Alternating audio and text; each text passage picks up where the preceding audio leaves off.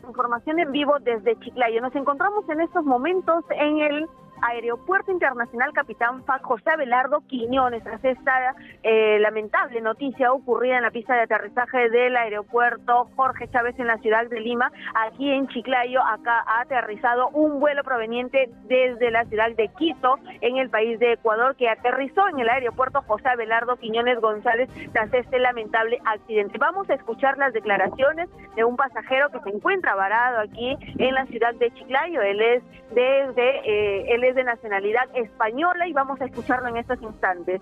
Sí, yo soy de Madrid, de España. Sí, volé de Madrid a Quito por motivos de trabajo. Eh, viajábamos de Quito a Lima. Bueno, cuando estábamos a punto de aterrizar en Lima, como a unos cinco minutos de la hora prevista de aterrizaje, el capitán nos comentó que desde el aeropuerto de Lima le indicaban que no era posible aterrizar y que esperásemos instrucciones y unos 20 minutos después eh, nos indicaron que había habido un incidente en la pista del aeropuerto de, Lima y que nos desviaban a Chiclayo.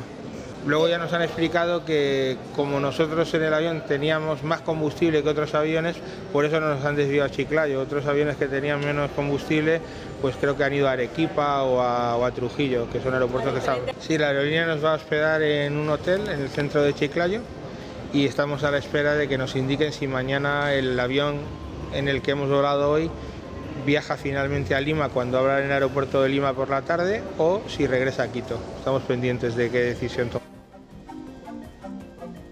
Han sido las declaraciones del ciudadano español quien se encuentra varado en la ciudad de Chiclayo. Hay que indicar de que este vuelo proveniente de la ciudad de Quito, en el país de Ecuador, traía aproximadamente 150 pasajeros. Ellos ya han sido desplazados en estos momentos a diferentes hoteles aquí en la ciudad de Chiclayo, donde se les va a dar la estadía y alimentación. Con este vuelo, Pedro Catiusca, serían dos vuelos que han quedado aquí varados en la ciudad de Chiclayo, el de Quito y el que salía a las 5 y 30 de la tarde proveniente de Chiclayo con destino a la ciudad de Lima, con un aproximado de 160 pasajeros, entre ellos una delegación de 29 ciudadanos de Hungría que han quedado también varados en la ciudad de Chiclayo, por lo cual les han informado que aproximadamente el día de mañana, entre la una o dos de la tarde, podrían estar nuevamente retomando estos vuelos, las salidas a la ciudad de Lima. Para Éxitos informa Noeli Bracamonte en Chiclayo, 106.9 de la FM. Exitosa la voz de los que no tienen voz.